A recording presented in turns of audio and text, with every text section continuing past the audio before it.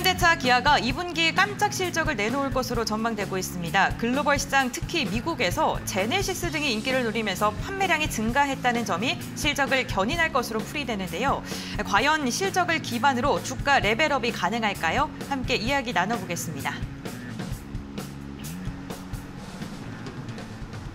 네, 2분기 실적 발표 시즌이 되면서 주요 기업들의 실적 컨센서스가 하회되고 있습니다. 지금 좀 둔화가 되고 있는 건데 현대차와 기아는 반대로 가고 있어요. 네, 굉장히 고무적인 수치고요. 뭐 경기 침체 우려에 따라서 지금 좀 우려가 조금 커지는 것들이 이제 반도체 그리고 자동차 주들이었습니다. 하지만 예상외로 호실적이 조금 기대가 되고 있어요. 이런 이유들을 보자면 오늘 환율이 발표되었다시피 굉장히 고환율이 자체가 유지가 되고 있는 상황에서 어, 수출 위주의 기업들이 조금 호실적이 나올 수 있겠다라는 시장의 반응들이 조금 반영이 되고 있는 것 같습니다.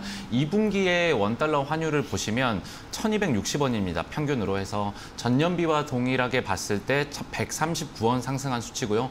한국은 대표적으로 자동차 업계, 완성차 업계에서는 내수 시장이 작기 때문에 수출 의존도가 굉장히 높습니다. 그래서 2분기 현대차라든지 기아차의 조금 잠정 실적들을 확인을 해보시면 현대차가 2분기 실적으로 국내에는 5만여 대를 팔았고요. 어, 해외에는 한 6배 정도, 한 28만여 대, 30만여 대를 팔았습니다. 기아차로 보시면 국내에는 4만 대, 해외 시장으로는 21만 대를 팔았기 때문에 그만큼 수출 의존도가 굉장히 크고 환율의 수혜를 얼마나 크게 받을 수 있는지는 충분히 짐작이 가능한 수치라고 보시면 좋을 것 같습니다. 수출 채산성, 고환율 유지됨에 따라서 당연히 계속 유지가 될 거고요. 최근에 완성차 업체들이 겪었던 게 반도체 쇼티지입니다. 그래서 네. 반도체 수급 이 굉장히 안 좋았기 때문에 이 백오더 물량들이 굉장히 아직 남아 있어요. 과거에 주문했던 작년, 재작년에 주문했던 물량들이 이제서야 조금 출고가 되고 있는 상황입니다. 저도 실제로 저번 달에 현대차 계약을 마쳤는데 이게 내년 4월 달에 받을 수 있다라고 오, 하더라고요. 그러니까? 네. 거의 한 10개월, 1년까지는 공장이 가동이 되는 데는 전혀 문제가 없다라는 것이고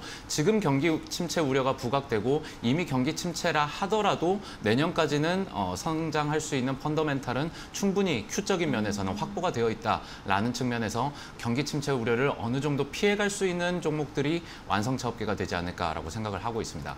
네, 어, 오히려 고환율로 인해서 수혜가 기대된다라고 언급을 해주셨는데 사실 완성차 업계가 호실적이 전망되면서 부품주로도 조금 낙수 효과가 기대되고 있는 상황이거든요. 네네. 네, 이에 대해서는 어떻게 생각하시나요? 어, 또 최근에 좋은 소식이 있었습니다. 25년도까지 이제 네. 현대차가 국내에다가 전기차 전용 공장을 생산을 어, 설, 어, 신축을 하기로 했습니다. 네. 여기에 따라서 내수 시장 또 자연스럽게 낙수 효과를 볼 거라고 기대를 하고 있어요. 국내 하청업체들, 1, 2차 벤더들 그리고 주요 관련주들 뭐 만도라든지 현대차, 기아차 관련된 종목들이 25년 안에 좀 낙수 효과를 자연스럽게 순환매 현상에 따라서 어, 볼 수 있지 않을까 싶고요. 전기차 시장이 꾸준하게 미국이랑 유럽 쪽에서 확대가 되고 있지 않습니까? 네. 또 여기에다가 현대차라든지 기아차들이 미국 내에서 판매되고 있는 이 세일즈 부서에다가 지급하게 되는 인센티브죠. 어, 네. 이 인센티브를 경쟁차 대비해서 대폭으로 축소를 했어요. 음. 그래서 이제 지급해도 될 인센티브를 대폭으로 축소를 했기 때문에 고환율 흐름에 따라서 환율 수혜도 볼 수 있고 원래 판매했을 때 지급하던 인센티브를 지급하지 않게 되니까 여기에 따라서 영업이익에 크게 기여를 할 것이다라는 전망도 있고 최근에 노조의 상황도 보면은 네. 4년 동안 한 번도 파업이 없었습니다. 현대차가 굉장히 원활하게 노조와의 어떤 협상을 타결을 하고 있는 거고 그 중에 이번 달 이번 올해에도 이 임금 협상이라든지 이런 것들이 잘 된 것들이 임금도 인상도 좀 시원하게 올려줬고요 한 9%대로 올려준 것 같고 다 합쳐서 어, 그 외에도 공장도 이제 어, 신규로 전기차 전용 공장을 설립을 했기 때문에 내수 시장 뭐 고용 안정화 이런 것들까지 다 챙겨간 것 같습니다. 그래서 앞으로 현대차 재료가 많이 남아 있기 때문에 네. 또 아이오닉 6도 발표를 하면서 반응이 좋습니다. 네. 그래서 좀 지켜보시면 좋겠습니다.